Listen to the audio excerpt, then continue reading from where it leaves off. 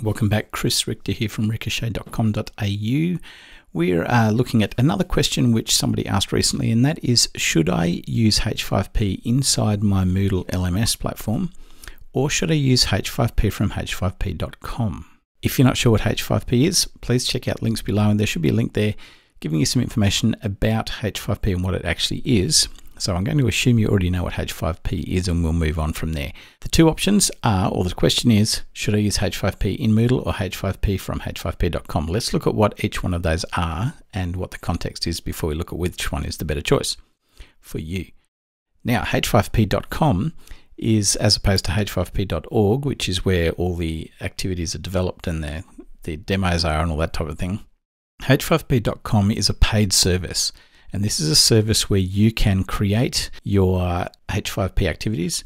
They live inside h5p.com.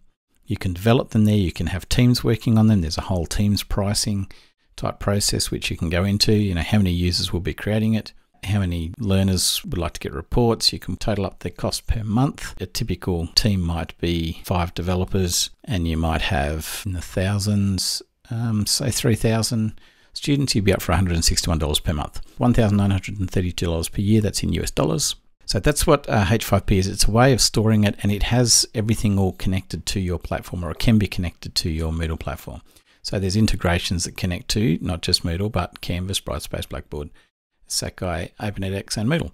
So it's quite clever, user friendly. It keeps everything in one place, and that's where all your H5P lives. The opposite to that is having H5P inside your actual platform itself. And this is where we go into the content bank. And inside the content bank is where all of your H5P activities live. You create them, you put them in there, you store them there, and they live inside your Moodle application. And you can link them into your content however you need to inside your Moodle platform. Here's the pros and cons and the benefits, or the differences, I should say, between each and you can decide which are pros and cons for you. So obviously the first difference is location. So the H5P file or activity when it's in Moodle is stored inside the Moodle LMS. So that means you have control of it. It lives in your space, in your environment where you're using it with the Moodle LMS, but there may be situations where you don't want that in there. Can you get it out of here? Yes, you can. Any of the H5P activities can be exported and imported into another platform. On the other hand, if you have it in H5P, then it is stored on someone else's server. Yes, you pay for it, so there is the disadvantage of that, but at least it is in a system where you can use it in any of your other platforms all at the one time. So it becomes more central. That jumps to our next part, which is portability. So how portable is it? Like I said, if it's in h5p.com, and you're embedding your content like a video. So if you want to look at it that way, H5P becomes like a YouTube video. So H5P becomes YouTube for interactive content. You can then embed your content in your platform from H5P. It's quite simple. It's it's fairly portable. You can also export from h5p.com as well. You can export from your Moodle platform. So in terms of portability, both of them give you a sense of that in that you can export and transfer things. But h5p.com gives you the control over one version that can be shared across multiple platforms or multiple LMSs, as opposed to having the activities living in each platform that you have if you have multiple platforms. So if that's irrelevant to you, then that might not matter at all. In terms of portability, either one sort of works fine. Speed is another thing though. H5P has a lot of files and a lot of bits and moving parts in it. When you go to view a H5P file, it has all of these extra JavaScript and framework files that go with it and all sorts of things. That becomes an added load onto your server if you have your H5P sitting inside Moodle. Those extra files and everything, in this case, if you look at just a document, it's 715K, which is not big. It's That's fairly small. It's quite reasonable. But as your activities grow, the types of activities and more content goes in them, it all means it's extra load on your server as well. If you are looking at it from a speed improvement, you may find that h5p.com, which stores all of the h5p content on its servers and scales automatically when it needs to, might be a better choice if you're trying to reduce the amount of load on your server on your platform. So there may be a speed gain that you can get from that.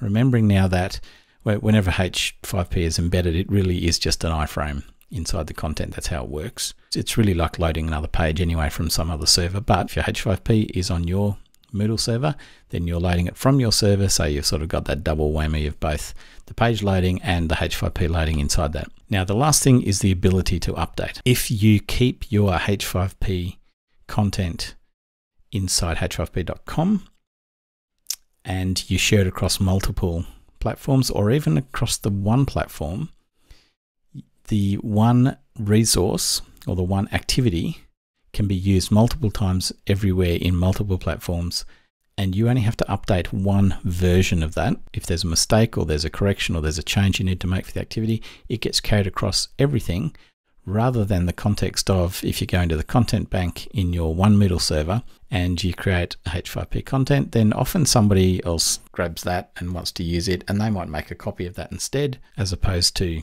actually reusing the one version. Well, let's say you're using your platform or multiple platforms, you want to use the same interactive activity, you have to transfer that between Moodle platforms or versions of the platform or your other LMSs if you have others.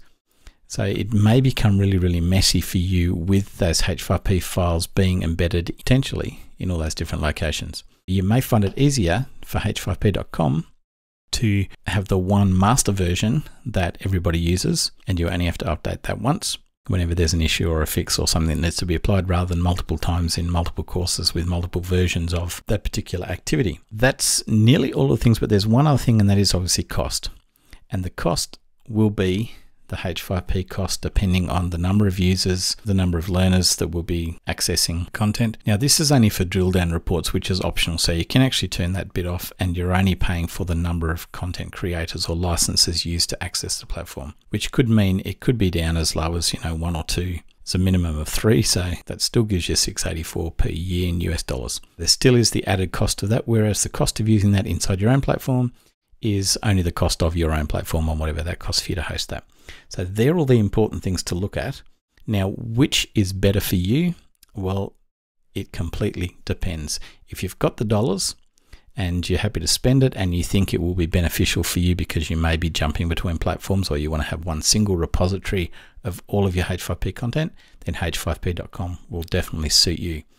If you're running lots and lots of students uh, with a lot of H5P content and you want to take the load off of your server, then h5p.com again is a, a better solution for you in that sense.